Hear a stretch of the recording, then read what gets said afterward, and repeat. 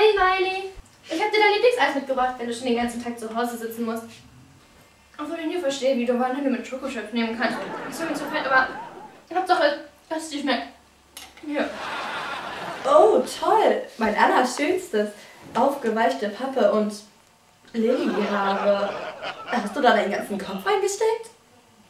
Mein Dad, entschuldige, ich bin nur so aufgeregt, weil ich mich heute Abend mit Oliver treffen will und ich muss ihm etwas sagen. Ach ja? Ja, aber ich weiß nicht, wie er darauf reagieren wird. Ach, keine Sorge. Wenn du Schluss machen willst, wird Oliver es verstehen. Schluss machen? Vergiss es. Ich will ihm sagen, dass ich ihn liebe. Endlich kann ich wieder spucken.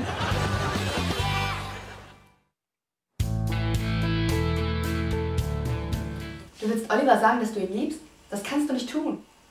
Wieso nicht? Na, weil ein Mädchen es nicht zuerst sagen sollte. Das ist nicht gut. Das gibt dem Jungen zu viel Macht. Du wirst die Frauenbewegung um 50 Jahre zurück. Ich will in zwei Jahren wählen und lass mir das nicht von dir kaputt machen. Aber ich liebe ihn nun mal. Gut, ich liebe Erdnussbutter. Deswegen mache ich mich nicht vor einem Glas davon lächerlich, oder?